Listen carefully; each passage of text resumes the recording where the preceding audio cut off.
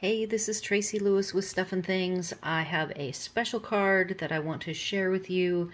It is my first Memorial Day card for a service member who lives next door. His name is Jim. He served in the Marines and I made him this card and I need to run it over and I thought I better get a quick uh, video of it.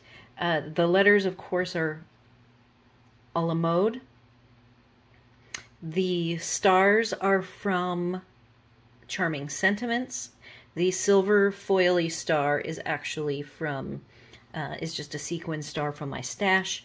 This blue and white, uh, this is Misty Moonlight, it is my absolute famous favorite double Baker's Twine wrapped in silver, and I still have some since Misty Moonlight is back.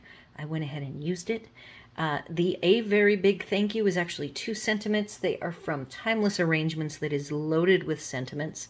My husband and I debated long and hard about whether Bravo, a very big thank you, needs to be Bravo and a very big thank you, and he poo pooed my little ampersand. You tell me if this backwards three, I always used that as an ampersand, but he said it's the ampersand that is on the keyboard, and that is the only way to write out an ampersand. So give me your thoughts, because I still think that I am right. I did use the countryside in blue. There are only two patterns on countryside that do not have flowers. So look very carefully. Even the very small little ones are actually flowers except for these dots. So it worked out very uh, nicely for me. And then I used tailored tags dies uh, to do the tag. And this is a Night of Navy trim that is new in this year's catalog. So that's all I've got. I got to run because I got to get him this card. Uh, be sure to let me know your thoughts on the ampersand and this project. Any questions or concerns?